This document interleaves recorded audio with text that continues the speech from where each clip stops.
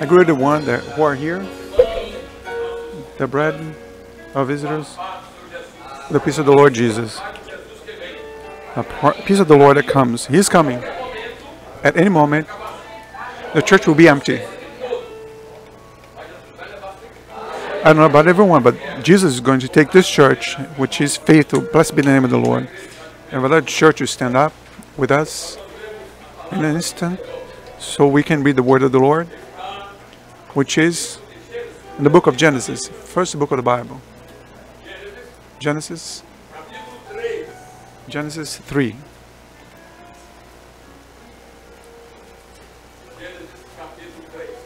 Genesis chapter 3.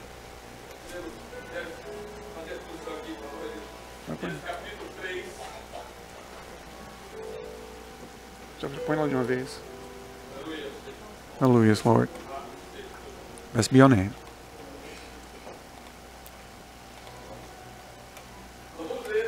We're going to read only the first four verses of uh, chapter 3 of the book of Genesis, from 1 to 4.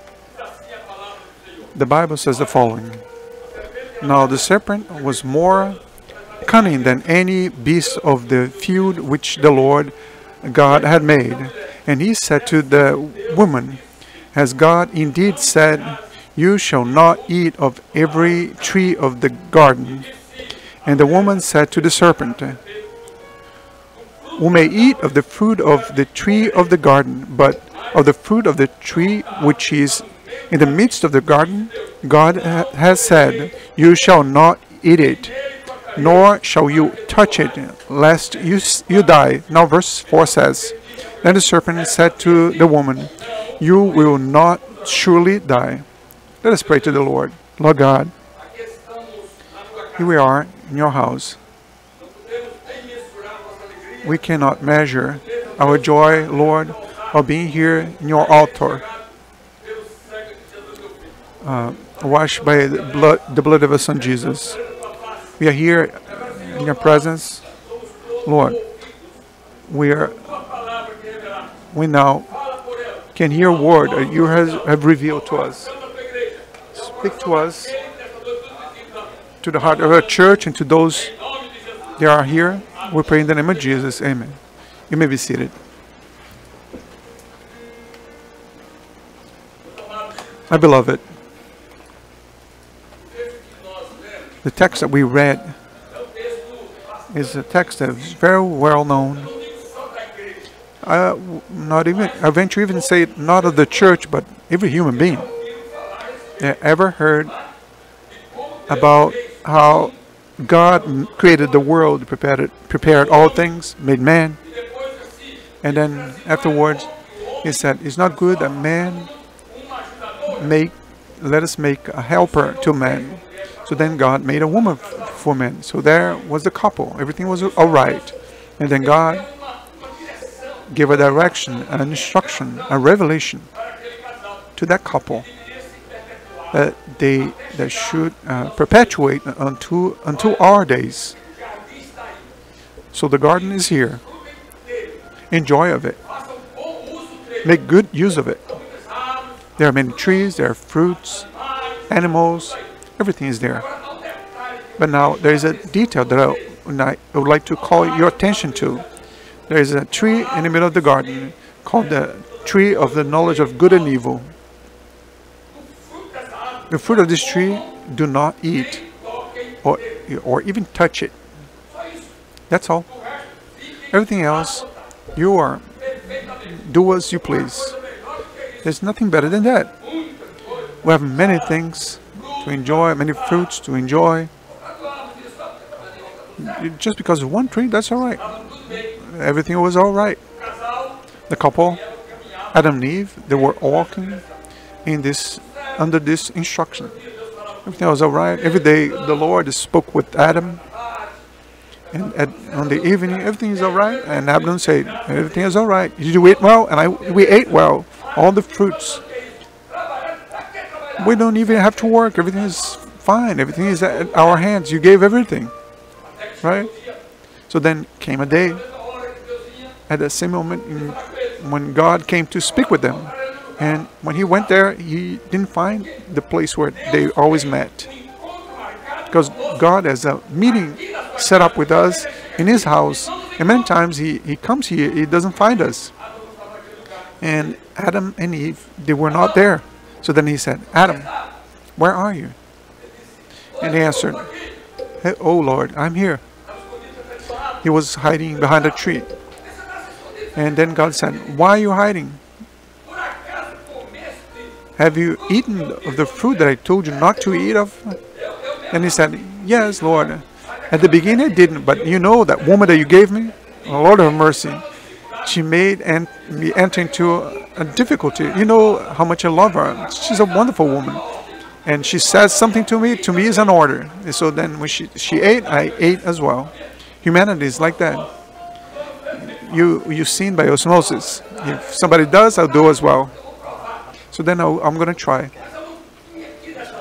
But I didn't come here tonight. I didn't come from Brazil tonight only to speak about the fruit of the tree that was there in the middle of the garden. God had sent me to do this.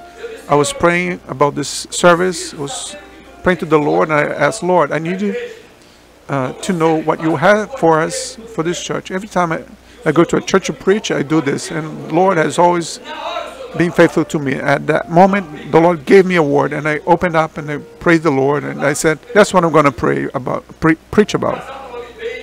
The couple was well, very well fed. Everything was fine under the the instruction of the Lord. If they speaking with God, but one day, of all of the animals that were created there, it seems like this animal, the serpent,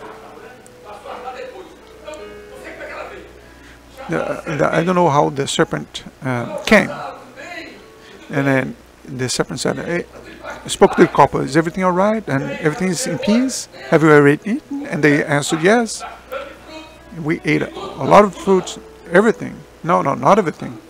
There's a lot here, but there's a tree that the Lord told me that we should never eat because if we ate, we would die. And that animal called serpent said, No, that's not how it is. That's not how it is. You will not die if you eat of it.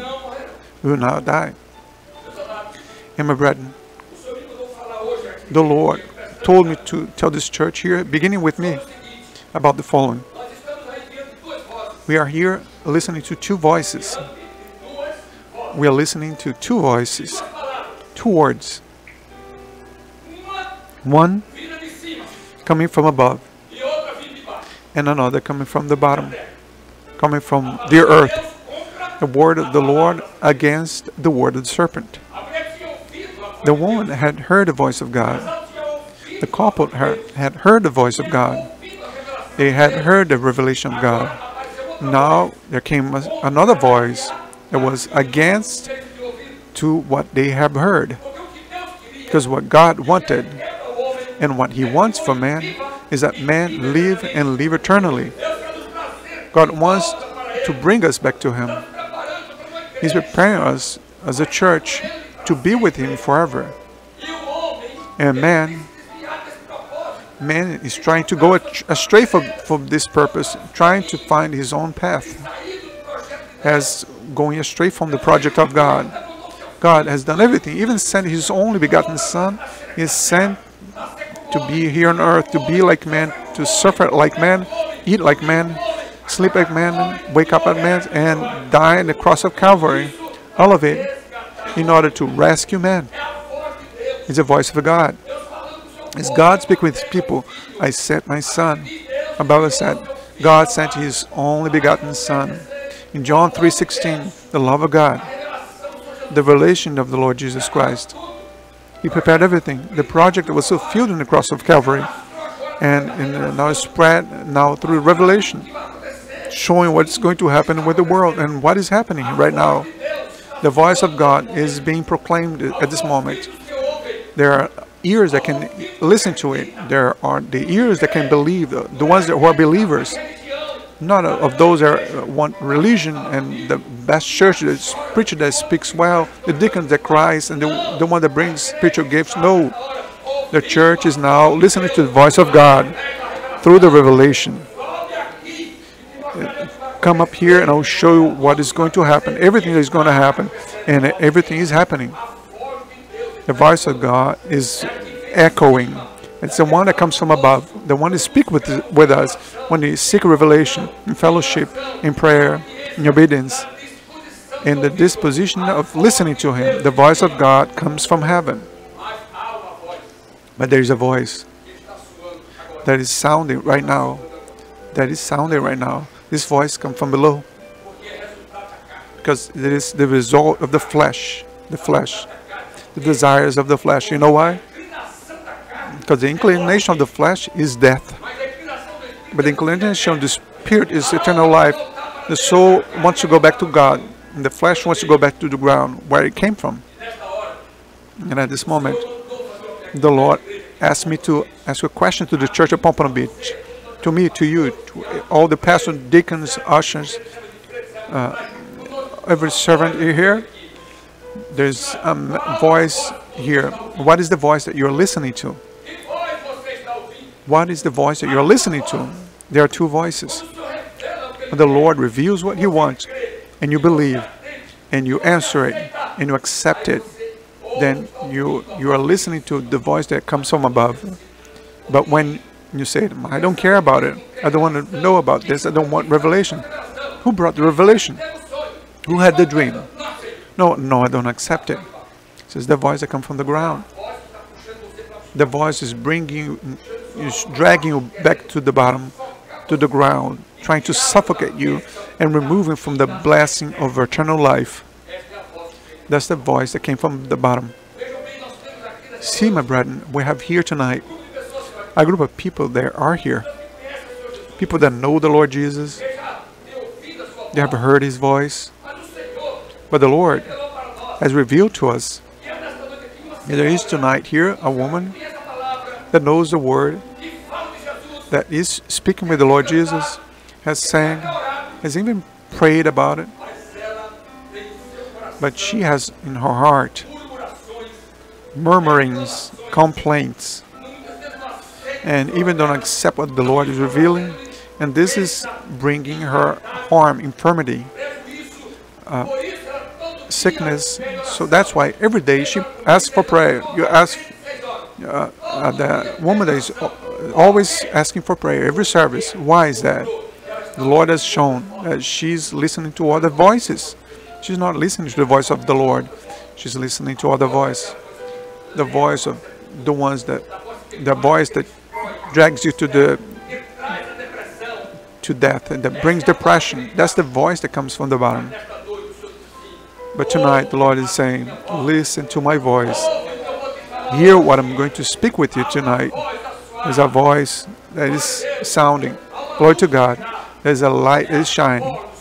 It's the voice of the Lord Jesus speaking to his people to which he sac sacrificed himself in the cross of Calvary. And the question I'm not asking, but the Lord is asking to us tonight, what is the voice that you are listening to? There are two voices. One is coming from above and the one that is coming from below. What is the voice that you're listening to? The Lord is speaking to us. The, the Lord also told us there is a, a young woman that is in great difficulty. Why is this? Why you're going through this struggle? Because surely she is not listening to the voice that comes from above. Pay attention what the enemy does. He did this with Adam and Eve, and is doing this today with us, with humanity today. Not with the people that believe, but for the people that do know in what believe. The revelation that we have, that faithful church has, is the following. Walking in revelation, and you will live forever. You will never die. Because those who have Christ never die, but they come from the uh, earthly death into eternal life. But the enemy, represented by the serpent who is here in this church, is saying, "What? What are you talking about? This is just conversations. This is story they come up with. This is a story just to fill the church. You know, don't worry about this. And the world's not going to end. this story about Revelation, the apocalypse. Is, don't worry about. It. Don't don't be sad with this. This is the voice of the serpent. It's the voice of the enemy, the voice of evil that wants to destroy you and remove you from the presence of the Lord. Um, ask you once again, by from the order of the Lord, which voice you are listening to. Think seriously about it. Which is the voice that you're listening to? Are you listening to the voice of something that speak on the church? You're uh, listening to the voice of people that complain, that murmur, they speak of the, the deacons, the pastor. It doesn't matter who we are. If, if we're um, ushers, deacons, we're servants of the Lord, called to do His work. Are you listening to the voice that comes from the bottom? You're listening from, uh, to the voice of the brother that doesn't want to have anything to do with the kingdom of God. If you are, surely you will die. That's what the Lord is saying. Dying here is to lose salvation, to lose eternal life, being away from the Lord, away from the peace. You enter to live with those that are going to and to enjoy, if you can call it enjoy, to the sound of all the trumpets. Oh, oh, oh, only sadness, only bitterness, bitterness, only sadness. Because at this moment, when the three trumpets sounded, the trumpet of the rapture has already sounded, the church has already gone up, the, the word of the Lord has gone away, the Spirit has left the world. And then they will run to this place, they will come here racing. What is this God that spoke to us? No, he's no longer talking. Because this hour is the hour for you to listen to the voice of the one. I want to give you life. Uh, I want to give you eternal life. Walk in my revelation. Do what, what I determine, and you surely live. Let us praise the name of the Lord. Hallelujah. Let's be the name of the Lord.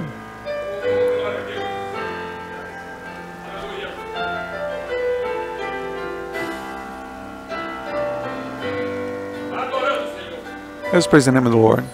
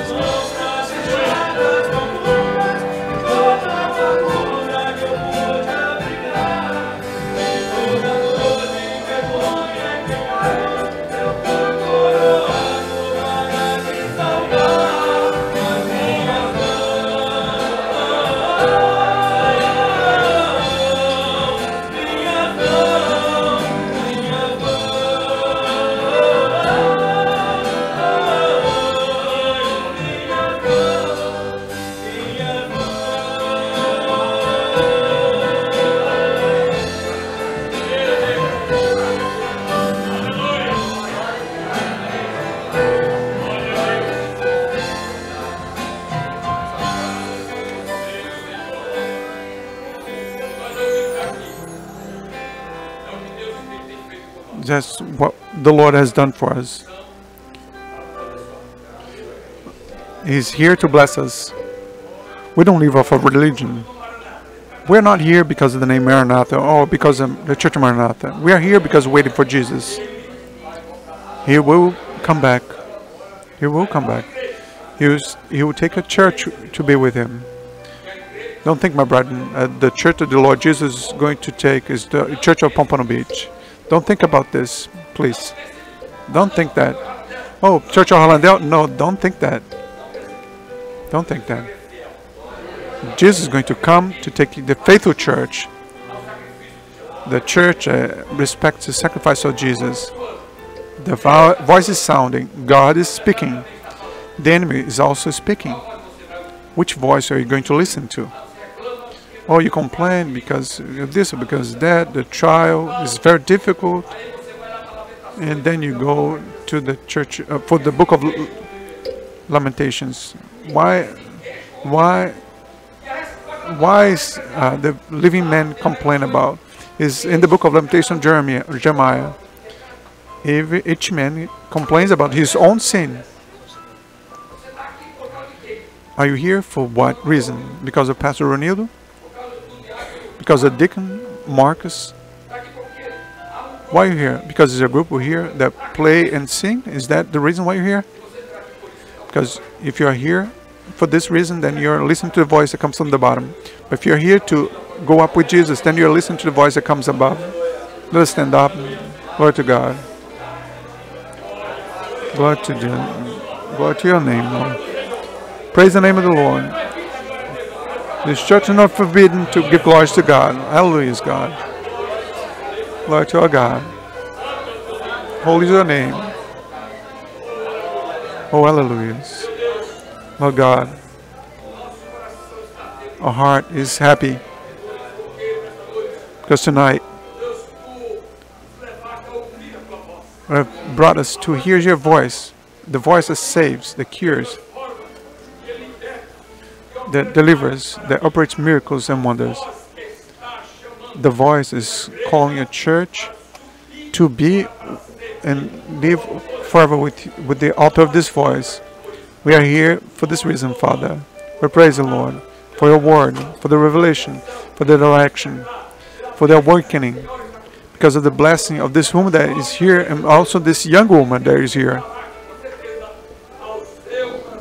We know that you spoke to their hearts. Receive therefore our gratitude, our praise, and our adoration.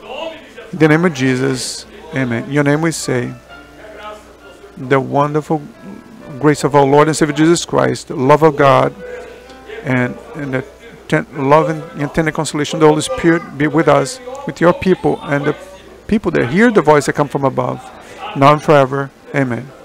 Church may be seated.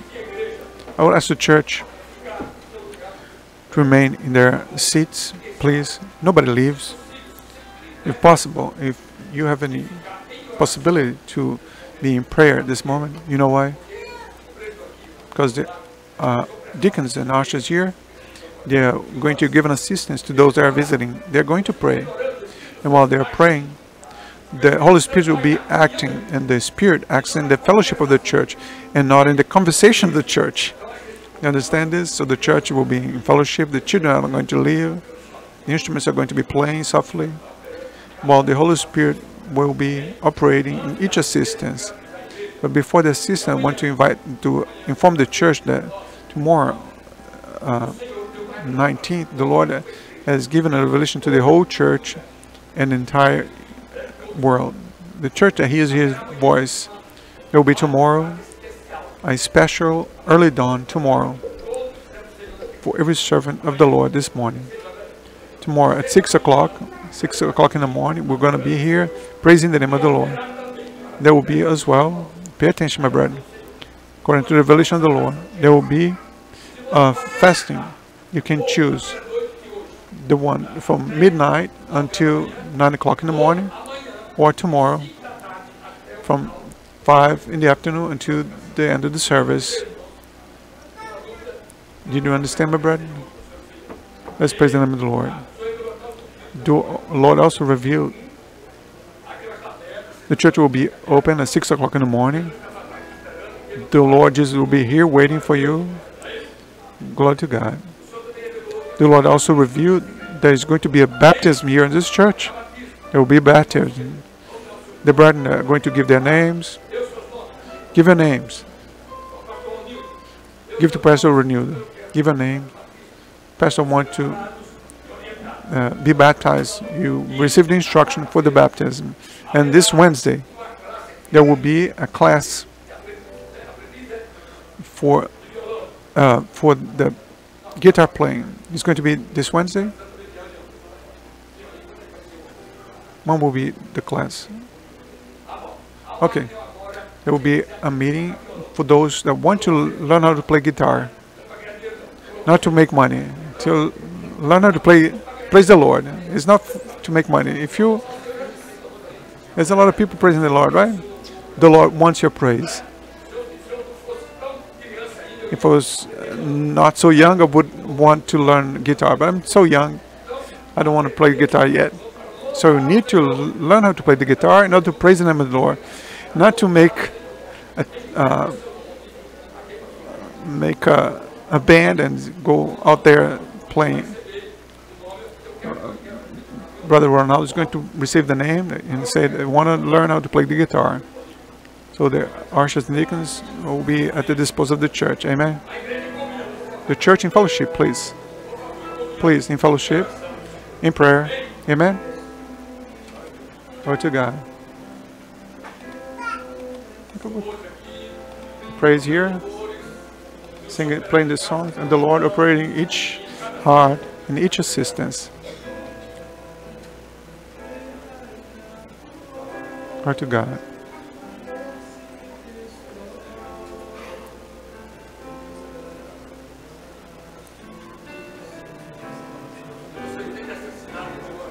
If you need, have a necessity of a prayer, please don't leave this place.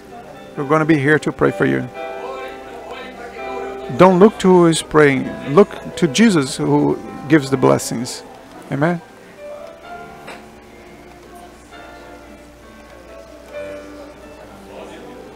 Come to God.